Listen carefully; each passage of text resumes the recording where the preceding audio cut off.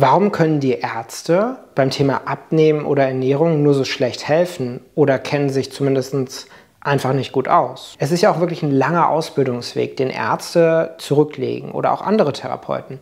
Viele Jahre, die man studiert, sich mit den Themen beschäftigt, vielleicht auch wirklich in die Forschung einsteigt. Und dann würde man ja auch erwarten, wenn jemand sich jahrelang mit diesen Themen beschäftigt, vielleicht auch noch tausende Menschen behandelt hat, dann muss diese Person sich doch wirklich mit solchen grundlegenden Dingen wie der Ernährung auskennen. Die verstehen zwar grundlegend, was denn ein Stoffwechsel vielleicht ist oder wie Diabetes grundlegend funktioniert, aber das heißt nicht, dass sie sich damit auskennen, wie man ganz praktisch die Ernährung verändert, dass es wirklich im Alltag umsetzbar ist. Das ist ja auch einfach so, als würdest du einen Ingenieur fragen, wie man dein Auto repariert. Der kennt sich vielleicht grundlegend damit aus, wie ein Verbrennungsmotor funktioniert, aber er hat noch nie einen repariert. Dafür sind einfach noch viel mehr Dinge relevant und wichtig, die in der Ausbildung keinen Platz haben. Das heißt, das eine ist schon mal, dass es daran fehlt, dass in der Ausbildung solche Themen wirklich im praktischen Detail behandelt werden und dass man wirklich Menschen genau in diesem Bereich praktisch weiterhilft und auch schaut, was funktioniert gut, was funktioniert nicht so gut. Das heißt, da fehlt zum einen der theoretische Hintergrund, wirklich im Detail was zu tun ist und welche Schwierigkeiten es in der Umsetzung gibt, ob jetzt Fressattacken, Heißhungerattacken, wie man die Ernährung anpasst, auf welche Makronährstoffe zu achten ist, auch wie man kocht und dann natürlich auch die Übung darin, das praktisch umzusetzen. Und du wirst vielleicht auch merken, viele Ärzte sind selber übergewichtig oder auch Psychotherapeuten oder Physiotherapeuten. Das heißt, sie selber schaffen es ja auch nicht, das umzusetzen. Und das heißt jetzt nicht, dass sie nie einen guten Tipp auf Lager haben oder dir vielleicht nicht auch in gewissen Situationen weiterhelfen können. Aber es ist natürlich schon so, wenn jemand nie abgenommen hat, es zumindest nicht nachhaltig geschafft hat und sich nicht wirklich nachhaltig im eigenen Körper wohlfühlt und nicht anderen Leuten damit geholfen hat, dann müssen ja irgendwo noch Dinge fehlen, bis sie dir helfen könnten. Also da fehlt noch irgendwas im Verständnis. Das heißt, alle Tipps, alle Ratschläge, alles, was du von ihnen bekommst, da könnten gut einzelne Aspekte fehlen und so ist es ja auch oft. Der andere Aspekt ist das Wirtschaftliche, weil die meisten Erkrankungen, die wir heutzutage haben, Diabetes, Rückenschmerzen, alle Zivilisationserkrankungen, die hängen daran, dass wir zu dick sind. Das heißt, wir haben wirklich eine Energievergiftung. Jetzt ist der Witz aber daran, wenn du niedergelassener Mediziner bist oder vielleicht auch im Krankenhaus arbeitest, dann hast du einen sehr eng getakten Zeitplan. Das liegt unter anderem an der Abrechnung. Das heißt, ähm, der Punkt ist, wofür wirst du bezahlt? Stell dir mal vor, du hättest so eine Praxis und jetzt würdest du eine gewisse Summe, bei Allgemeinmedizinern sind es aktuell so 30 bis 40 Euro, ähm, die würdest du im Quartal bekommen, also alle drei Monate, wenn jemand kommt. Und das heißt, du machst dann viele Sachen in dieser Zeit. Vielleicht berätst du jemanden fünf Minuten oder zwei Stunden oder vielleicht auch fünf Stunden. Du bekommst trotzdem diese 30 Euro. Jetzt ist das vielleicht okay für dich, wenn du ganz alleine dort arbeitest und keinerlei Kosten hast und diese 30 Euro voll für dich da sind.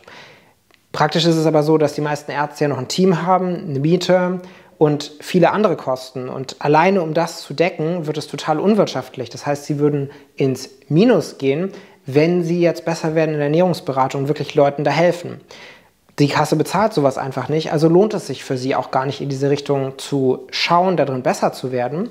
Und natürlich ist es auch so, dass du als Arzt immer wieder erlebst, dass die Leute das gar nicht umsetzen. Das heißt, selbst wenn du ihnen das erzählst, faktisch korrekt, alles bis ins Beste recherchiert, dann ist der Zugewinn nur ganz gering. Du erlebst ja immer wieder, dass die Patienten kommen, sich nicht verändern, auch wenn du ihnen exakt die richtigen Sachen sagst, weil meistens die Motivation fehlt, beziehungsweise die äh, gefühlte Wirksamkeit. Weil meistens die Leute denken, dass es eh nicht lösbar ist oder sie selber das nicht lösen können oder vielleicht auch noch nicht lösen wollen. Das heißt, du redest dir den Mund fusselig, investierst viel Zeit und trotzdem hast du kein Ergebnis. Und so wie du ja vielleicht auch Schwierigkeiten bemerkst, wenn du irgendwas immer wieder versuchst, aber es halt nicht klappt oder nur ganz selten ein bisschen, dann wird es immer schwieriger und schwieriger, dich wieder zu überwinden, es zu tun. Und genauso ist es ja letztlich dann auch in der Medizin, wenn du dich fortbildest im Bereich Abnehmen und Ernährung, vielleicht aus privatem Interesse, und das jetzt intensiv an die Patienten weitergibst, als Kassenleistung, dann ist deine Praxis vielleicht demnächst insolvent. Oder du musst zumindest viele Verluste mit einkalkulieren und Widerstand von den Patienten. Das heißt, es ist auf allen Ebenen keine sonderlich attraktive Vorgehensweise und deswegen kannst du aber auch nicht erwarten, dass ähm, die Allgemeinmediziner, zu denen du gehst, ähm, die Internisten, dass sie sich wirklich so intensiv mit Ernährung beschäftigt haben und dir dann dabei auch wirklich so praktisch weiterhelfen, einfach weil unser Gesundheitssystem oder unser Krankheitssystem vielleicht auch nicht darauf ausgelegt ist, präventiv zu arbeiten und Menschen dabei zu unterstützen.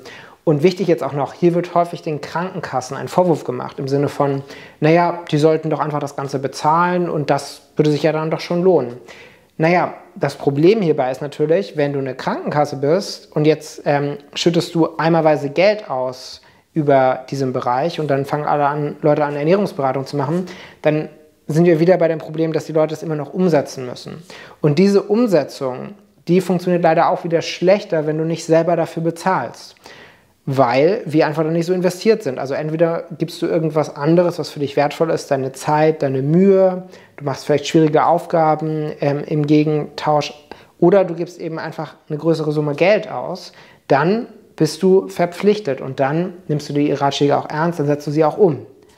Das heißt, letztlich sind es viele Faktoren, also wie schwer eine Veränderung ist auf persönlicher Ebene, wie Ärzte bezahlt werden, wie Ärzte ausgebildet werden, aber auch wie Krankenkassen bezahlen und bezahlen können, wollen, dass es sich für sie lohnt, sie mit den Geldern richtig umgehen, die alle gleichzeitig zusammenwirken und die dann dazu führen, dass Ärzte und viele andere Therapeuten ja auch sich rund um das ganze Thema Ernährung und Abnehmen weder so gut auskennen, noch so gut auskennen sollten. Einfach weil es ihnen ja persönlich auch wieder schaden würde und sie auch gar nicht in dem Kontext, wie sie heutzutage arbeiten, also wir sind ja auf Akutmedizin spezialisiert, da wirklich Ergebnisse liefern könnten. Ich hoffe, das bringt ein bisschen Licht ins Dunkle. Wenn das für dich interessant ist, dann lass mir doch gerne einen Kommentar da. Vielleicht hast du auch was in die Richtung erlebt. Vielleicht hast du noch eine Rückfrage. Das ist jetzt einfach mal so ein bisschen flexibleres Video.